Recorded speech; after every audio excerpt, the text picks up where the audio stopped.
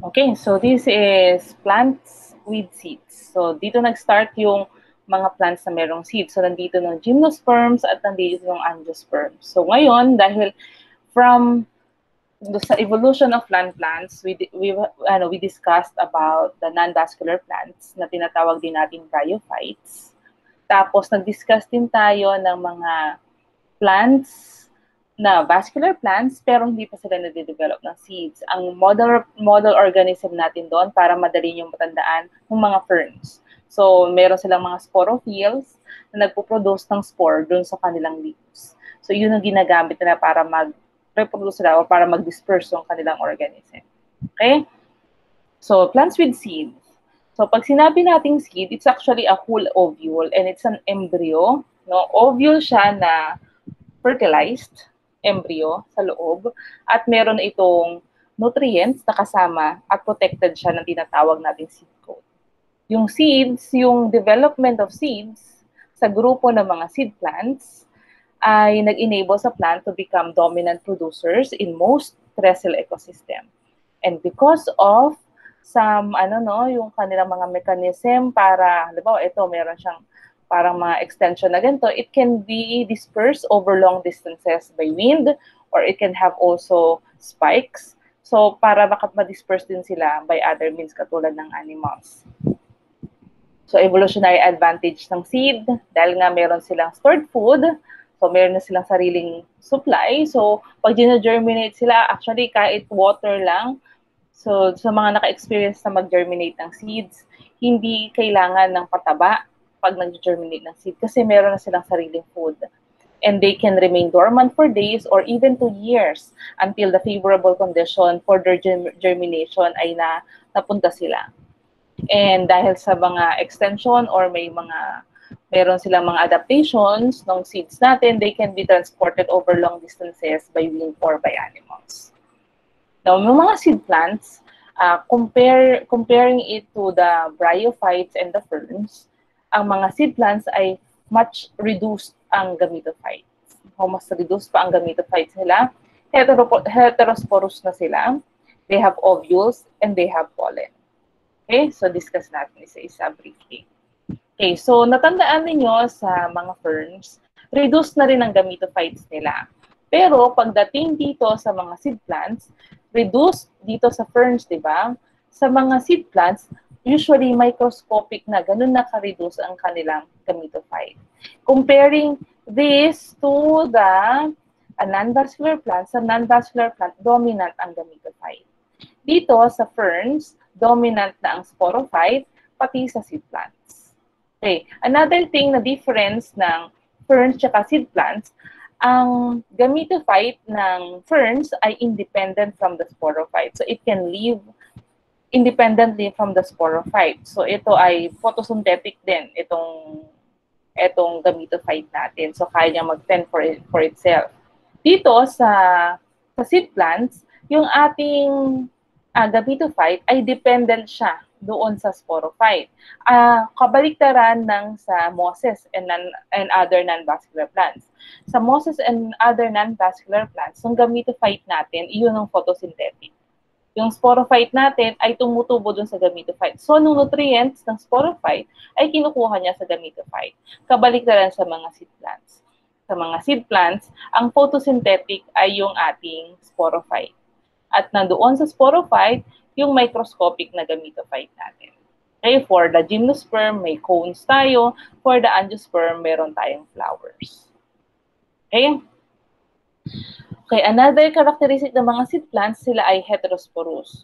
So, diniscuss natin to last time, yung mga na uh, yung mga seed, yung mga non-seed, no? Seedless vascular plants, mga ferns, homosporous sila. So, they develop a single type of spore sa kanilang sporo, sa kanyang sporangium na nasa sporophyll, at ito ay magde-develop into an independent bisexual gametophyte kung saan magpo-produce ka ng eggs, eggs and sperm. So, ito diba, gamidified. So, meron ka dito magpuproduce ng eggs at meron ka nagpuproduce ng sperm.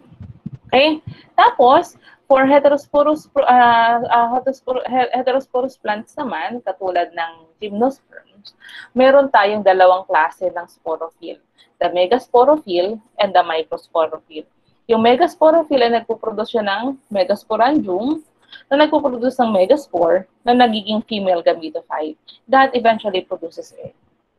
Sa microsporophyll naman, ito nagpuproduce ng microsporangium na nagpuproduce ng microspore, nagpuproduce ng male gametophyte, and then eventually nagpuproduce ng sperm. Lagi niyong tatandaan, laging mas maliit ang gametophyte ng male kaysa sa female. Kasi ng female, yung structure ng female, siya yung kinukuha ng embryo para siya ay lumaki.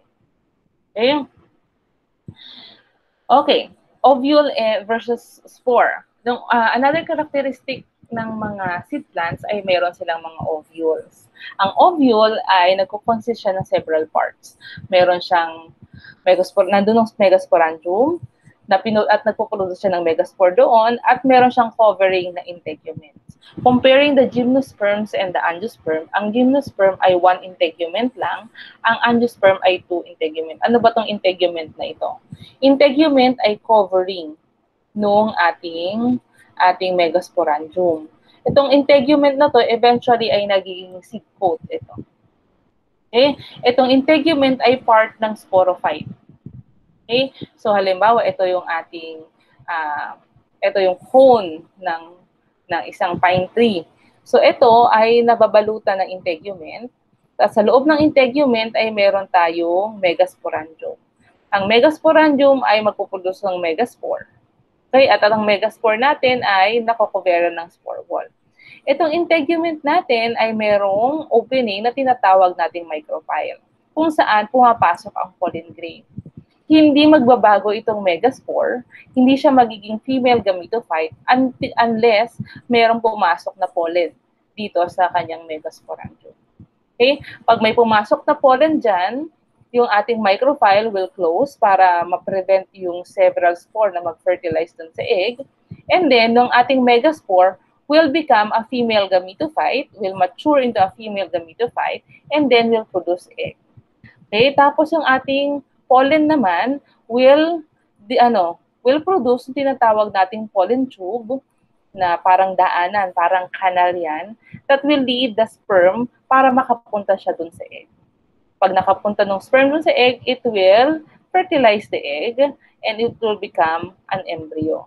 Tapos, yung female gametophyte natin will enlarge para maging food supply siya ng ating embryo.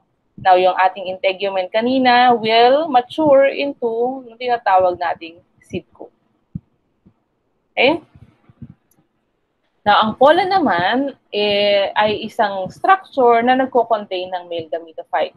Okay, ang pollen, hindi siya male gametophyte ha. Nasa loob ng pollen yung male gametophyte. Kasi nung pollen, sa loob ng pollen ay nagpo-produce ng sperm. Pero magpo-produce lang, lang siya ng sperm pag nandoon siya sa female cone or nandoon siya sa sa megasporangium. Okay? So, ng pollination, alam niyo naman ang pollination is a transfer of pollen grain para makapunta siya dun sa ovule. Now, yung pollen, yung development ng pollen eliminates the need of film of water and can be dispersed over great distances by air or animal. Bakit mahalaga ito? Kasi mas, mata, mas malayo na natatravel nila, mas malaki nung chance na mas maraming genetic variation na mangyari. Kasi kung mas malapit lang ng travel ng pol ng pollen mo, mas maliit lang ng chance na magkaroon ng variation ng population ng mga plants sa isang lugar. Eh, unless, eh, an, ano, pero pag malayo ang tinatravel ng pollen, so pwede yung, yung pollen from the site A will, ano, can travel hanggang papunta doon sa malayong lugar ng site B. Eh di magkakaroon ng genetic exchange. So alam naman natin na mas maraming genetic variation, mas maganda sa kanilang uh, survival. Okay? Na ang pollen grain, pag nag-germinate ito, I will give rise to pollen tube. Yung pollen tube, ito nung nag discharge ng sperm or nagiging daan or para, para siya nagiging tunnel ng sperm para mapunta siya doon sa egg na nasa ovule. Okay? Okay. Ang mga seed plants ay may ay isang clade nandiyon ng uh, gymnosperm, nandiyon ng angiosperm. Ano ibig sabihin ng isang clade? Okay, review natin yung ating sa phylogeny natin ng first quarter. Yung, kung makikita nyo, itong grupo na ito ay monophyletic. So, ibig sabihin, lahat ng seed plants ay iisa ng common ancestor.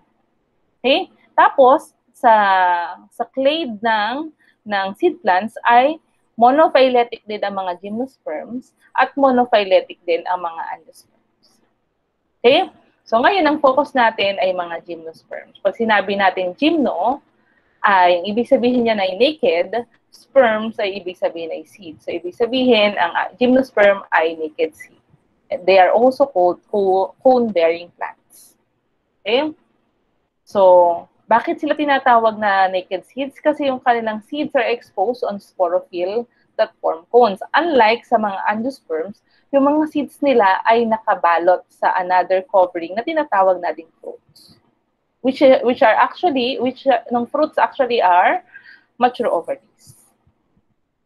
Okay? Now, yung mga gymnosperms ay cone-bearing. Kaya sa gymnosperm, yung kung ang ang non-vascular plants ay tinatawag nating bryophytes. Ang mga seedless vascular plants, ang ating model organism ay fern, ay ferns. Dito sa gymnosperms naman ay conifers. Okay? Or ng mga pine trees. Okay, sa life cycle ng gymnosperms, i-discuss ko na lang siguro yung buong life cycle. Ito rin naman ang nilalaman nito. Okay? So sa sa life cycle ng mga gymnosperm ang ating, katulad sabi ko, model organism natin ay pine tree, yung common na mga Christmas tree. No? So sa mga common na pine trees, we have two types of cones. The ovulate cone and the pollen cone. Yung ovulate cone, ito yung yung woody cone na nilalagay natin sa ano sa sa ano natin ornaments natin. Okay? Ito ng woody o woody cone. Okay? As meron tayong male cone or pollen cone na nagpo-produce ng pollen na mas fleshy ang kanyang structure, hindi siya woody. Okay? Uh, maybe because itong pollen cone ay derived from the leaves, itong uh, ovulate cone natin is derived from the stem. Okay, so nung ovulate cone natin ay nagpo-produce siya ng ovule. Okay? So yung pollen cone natin, siya nung nag nagbe-bear ng uh, microsporangia na nagpo-produce ng ating pollen grains. Okay, so no microsporangium natin will undergo meiosis para mag-produce ng pollen grains. Again, pag sinabi natin pollen, para eh, pag ano natin ha, pag sinabi natin pollen grains, ito ay uh, haploid. Okay. Ang pollen grains na yan will land doon sa sa megasporocyte, no? Dadaan yan doon sa ating microfile no? Yung opening ng integument. Tapos, maglalan siya dyan. And then, it will, uh, it will give some signal doon sa ating megaspore to undergo meiosis. Okay? So, para mag-divide siya hanggang siya ay mag-produce ng egg. Okay? So, makita niyo din, nagsara na yan. Okay? Tapos, pag, pag na-produce na ng egg, yung, pol, nung ating yung ating pollen will produce a pollen tube that will guide the sperm papunta doon sa egg na kanyang i-fertilize. So pag na-fertilize na yan, it will produce embryo and then food reserve galing doon sa female gametophyte and na may cover din yan at yung ating seed coat. Okay? Tapos yung seed coat natin, etong etong embryo na to will mature into into fully uh, functional seeds that can travel long distances until siya ay maging seedling. Now, kung titingnan nyo dito, itong pagland ng pollen dito sa ating megasporangium hanggang sa pagpuproduce ng seed, actually, it can take years bago maproduce ng seed from nung pagland ng pollen doon sa megasporocyte. Okay? Kasi mahabang process ito. Okay? Now, for the diversity of gymnosperms, Uh, alam naman natin na ng mga angiosperms, ang pinakamaraming nakikita natin plants ngayon. Pag, pag tumingin kayo sa labas ng bintana ninyo, kung kayo ay nasa suburban, katulad dito sa Pampanga, Tarlac, sa Sambales, no? Pag lumabas kayo, makita nyo, ng pinakamaraming matatanaw yung halaman actually are angiosperms. Okay? Pero kung kayo ay nakatira sa Mountain Province, ganyan, sa Sagada, sa Baguio, meron pa kayong makikita na mga gymnosperms. Okay? Pero, kung, kung kayo ay nakatira sa Sambales, meron din kayong makikita na mga representative nitong ating mga gymnosperms. Okay? Meron tayong apat na phyla ng gymnosperms. Okay, we have the cycads or cycadophyta, we have the ginkgophyta, we have the netophyta, and we have the coniferophyta. Okay, sa mga examples ko na ibibigay sa inyo, naghanap talaga ako ng mga local example para may chance na makita niyo sila sa totoong buhay. Except for the ginkgophyta, kasi wala tayo dito sa Pilipinas. Okay.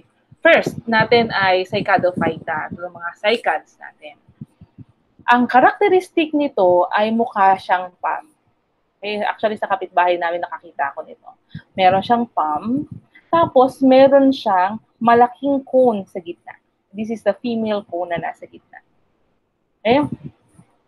So, ang economic importance nitong Cycadophyta, isang species ng Cycadophyta ang nagpo-produce ng food starch na tinatawag nating sago. Okay? So, dito sa Philippines, ito ng mga makikita nyong mga organism nito. Ito mga common na endemic sa Philippines. So, pumili ako talaga ng mga species na makikita dito sa ating lugar. Okay, itong Cycas rum, uh, Rio, Riominiata. Romaniana. Okay. Ito ay makikita natin sa Cagayan, sa Isabela. Sa Pampanga, makikita kayo ito sa Mount Arayat. Sa Bataan, sa Mount Mariveles and Labao River. And sa Cavite, Laguna, Batangas. Makikita nyo rin ito sa Mindoro. So, ganyan ang itsura niyan. So, again, ang characteristic nito ay meron siyang cone sa gitna. Okay? Another type of cycads ay yung tinatawag nating cycad sambaliensis. So ito ay endemic to Sambales or una siyang na-describe Sambales. Mukha siyang buko. Okay, pero actually ito ay mga mga uh, ano uh, structure ng cones natin. Okay? Okay, next phyla natin ay yung Ginkgophyta. Ang ginkgo phyta, madali lang siyang tandaan kasi isa lang ng living species niya, yung ginkgo biloba. So, naririnig niyo naman ang ginkgo biloba lagi. I think lagi ito nababanggit ni Vice Ganda sa kanya mga joke, no? Ginkgo biloba. Kasi may mga vitamins tayo na mayroong ginkgo biloba. O hindi pala vitamins, mga supplement, food supplement. Kasi some people are claiming na ito ay magbibigay ng cognitive improvement. Nakakatalino daw ang ginkgo biloba. This is only found in nakikita lang to o tumutubo ito sa China, sa Japan, and also sa Korea. So very popular ito especially in Japan. Kaya yung Tokyo City, no, nung symbol ng Tokyo City is actually from the shape of the leaves of ginkgo biloba. Okay? It's also a popular ornamental tree. Kaya makakita kayo sa University of Tokyo, sa harap ng University of Tokyo na mga puno ng ginkgo biloba. Okay? Okay, pangatlo, Danetophyta. Okay, the netophytes are first thought to be related to angiosperm pero based on molecular data nakita nila na ito ay kagrupo ng ng ano ng mga gymnosperms. Kasi mukha siyang may fruit pero actually mas malapit sa mga gymnosperms. Meron tong three generas natin. Okay? The netum, the wish, the wilwichia and the ep ano ano epdera tra dra. Okay, nakikita to sa ano sa ibang bansa. Okay? So, meron ba tayong uh, local species niyan? Meron lang ako nakita isa lang. Netum latifolium. Okay, makikita ito sa Panay Island. Okay? Sa Panay, so yan ang itsura niya. Okay? Last, pila ng ng mga um, uh, ng ating mga gymnosperms ay nung coniferophyta. Ito ng mga conifers. Ito na ng mga pine trees natin. So, ito yung pinakamalaking grupo ng mga gymnosperms kasi yung pinakamaraming species ng gymnosperms at ito yung malaki talaga ng mga puno. Okay? So, maraming grupo ng pine trees. So, meron ba tayo sa Pilipinas? Meron tayong mga endemic sa Pilipinas. Katulad nitong Pinus kessia na makikita natin sa Mount uh, sa sa Mountain Province sa Sagada.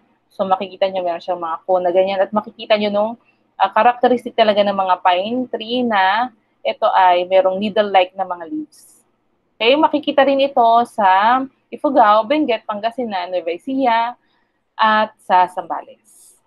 Okay, nakikita siya sa sa ano open often on steep slope at makikita yan usually around sa 700 700 to 2700 above sea levels.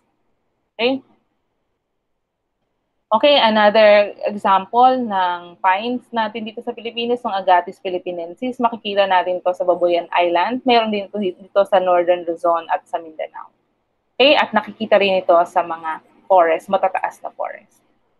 Okay, so meron din siyang altitude na requirement. Ito rin, no? meron din siyang altitude requirement, yung Dacry, Dacrycarpus imbricatus. So ito rin ay pine. Makikita niyo din to. Under din ng pinasi din ito. Okay, meron tayo yan sa Abra, sa Mountain Province, sa Benguet, sa Zambales, sa Mount Banahaw, sa Mindoro. Okay, meron din sa, Mindanao, sa Mindanao. So makikita nyo rin ito, ito rin ay makikita, o kung mapapansin nyo rin, ito rin ay makikita sa Montane Cloud Forest at 1,300 to 2,500 meters above sea level. Okay, this is common. Okay, and the last one, we have the Taxus, so under the Taxasi ito ay makikita niyo rin sa Mountain Province, Benguet, sa Laguna, Quezon, sa Mount Manahaw. Sa Mindanao, meron din ito sa Davao. So makikita ito sa highland, no, tropical highland ridges and mossy forest. So ito ay around 1,400 to 2,300 meters above sea level. So mapapansin niyo, dito sa conifers natin ay ang kanilang habitat ay high altitude. Okay? Ito naman yung mga uh, common na mga conifers na nakikita natin sa TV at nakikita natin sa mga books. We have the common Douglas fir na usually uh, ina-harvest para maging Christmas tree. We have the European larch. And yung pinakamalalaki, isa sa mga pinakamalalaking puno, tinatawag natin sequoia. Okay? Meron akong dalawang YouTube link dito. Actually, lecture din na itong dalawang to just in case gusto nyo malinawan pa doon sa life cycle ng ating gift kaya isa itong podcast, ito itong lecture. Okay? Any questions?